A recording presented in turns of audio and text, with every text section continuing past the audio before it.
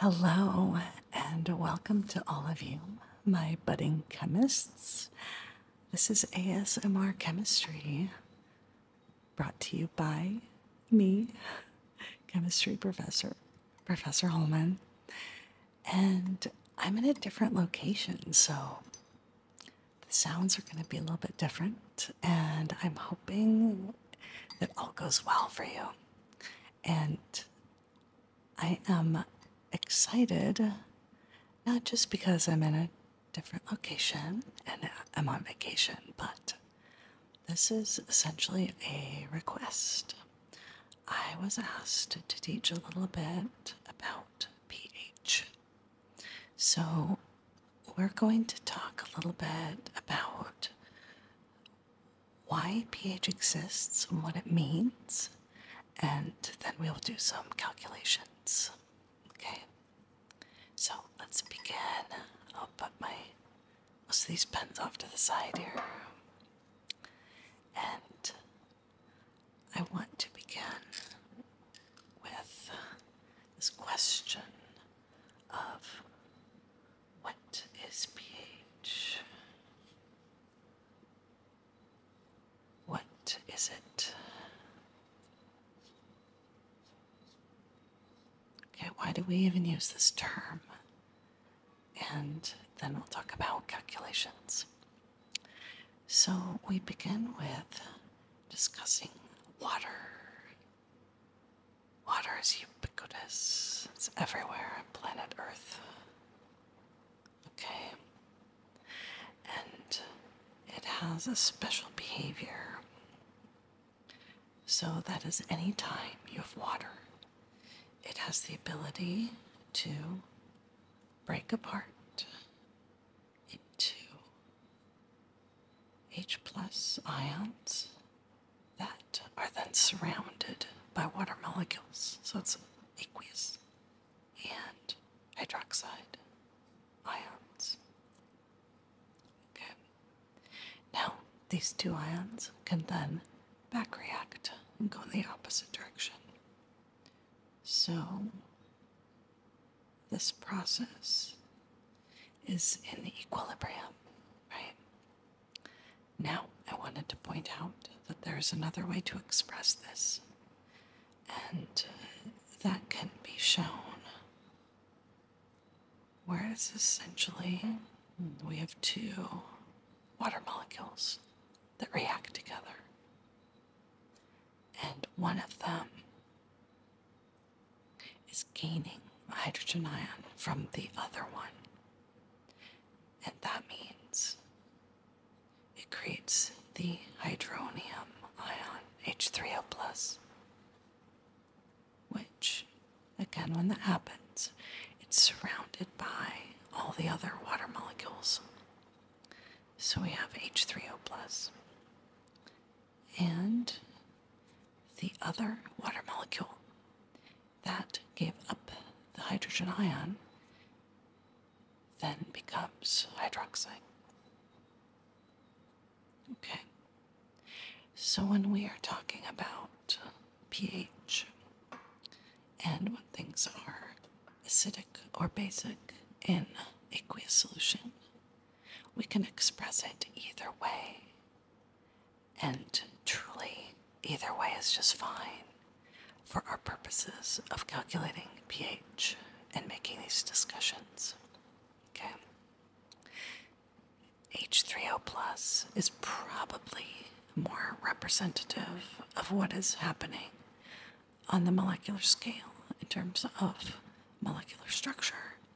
But if you want to just use H plus because it's faster to write for any reason, it's actually just fine.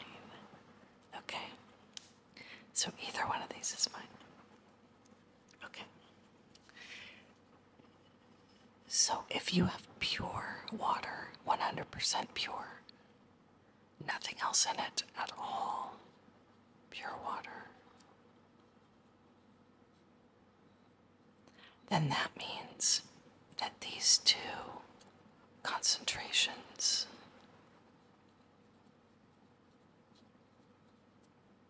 are equal because there's nothing else there. There's only water it's pure. This is a process. Oh, I'm sorry, I forgot to acknowledge on this second one. Same thing happens, back reacts. Okay, we have equilibrium going on. Okay. So, when we have pure water, this naturally occurs. Water will naturally, to a very small extent, it will break apart into these two portions, into these two ions. This is called autoionization of water.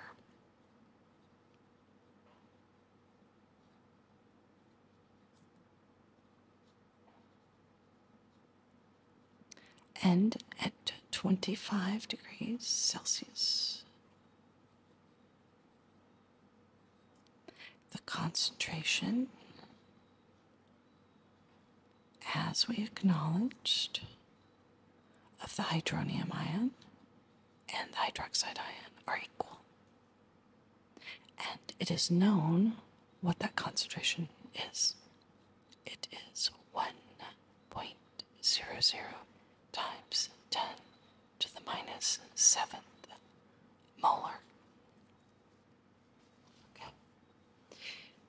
So this is what water naturally does. This is not chosen by a scientist. This is not defined. This is what actually happens. So, good job, water. You're very consistent. Okay.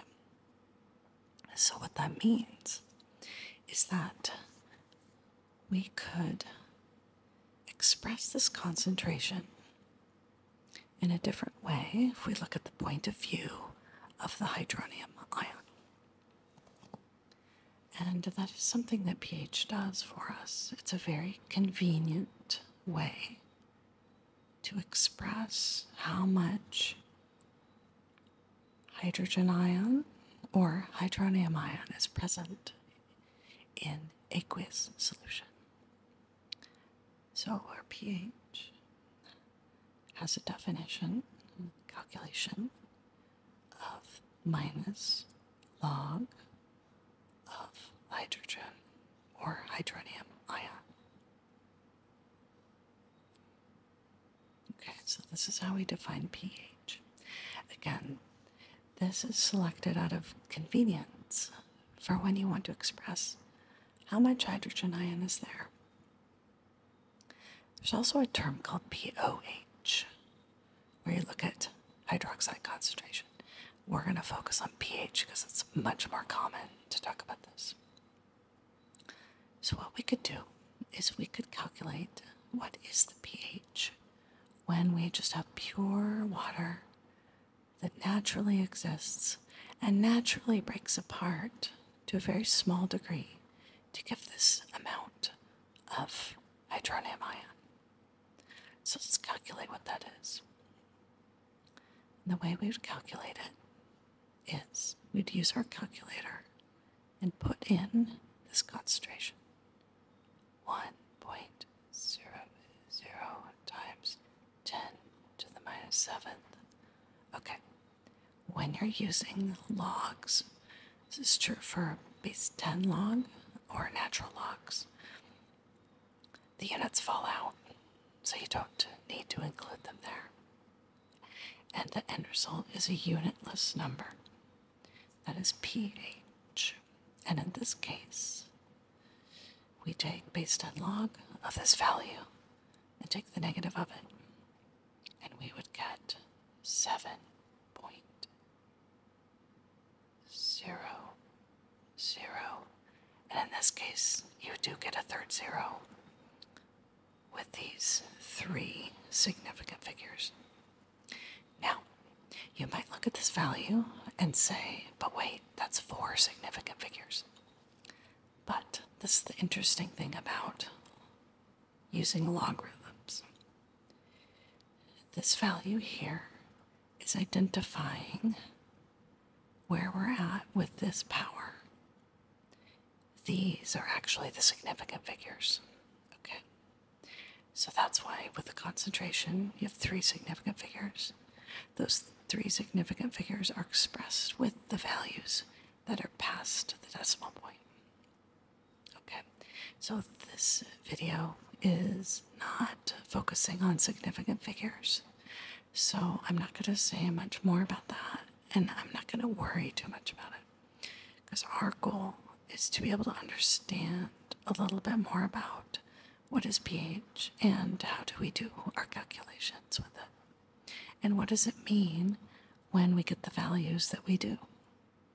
Okay, in this case, we have a pH 7 for a solution, this pure water, with equal amounts of hydrogen ion or hydronium ion, I'm pointing to here, and hydroxide, hydroxide ion. Okay, so this is neutral. Neutral.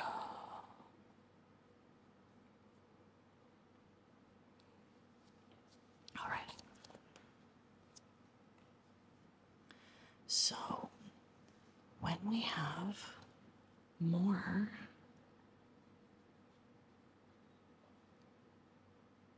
or greater, I should say, greater amount of hydronium ion than hydroxide. That means that we have an acidic solution.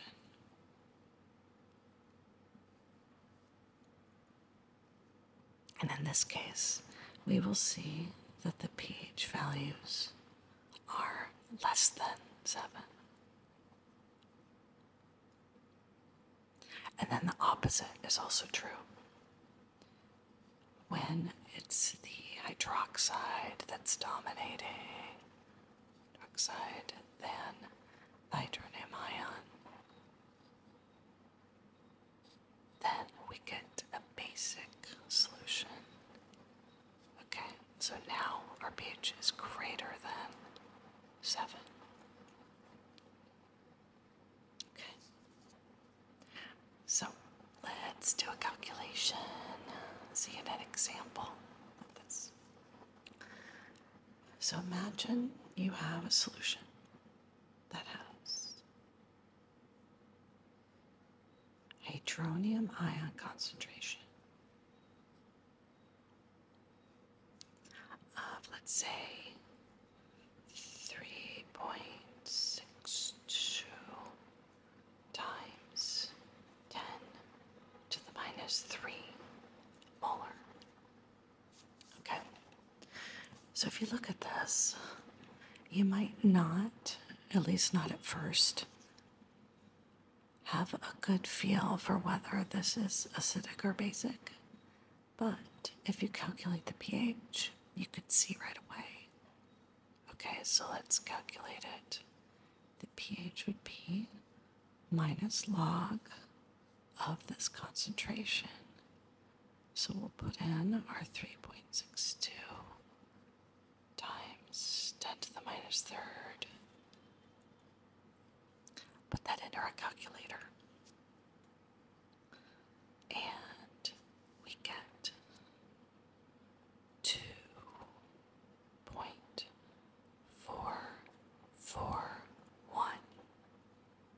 Okay, so once again, three significant figures here gives us three significant figures past the decimal point. Main discovery here is indeed, it looks like we have a situation where the pH is less than 7. Okay, so that means this solution is acidic.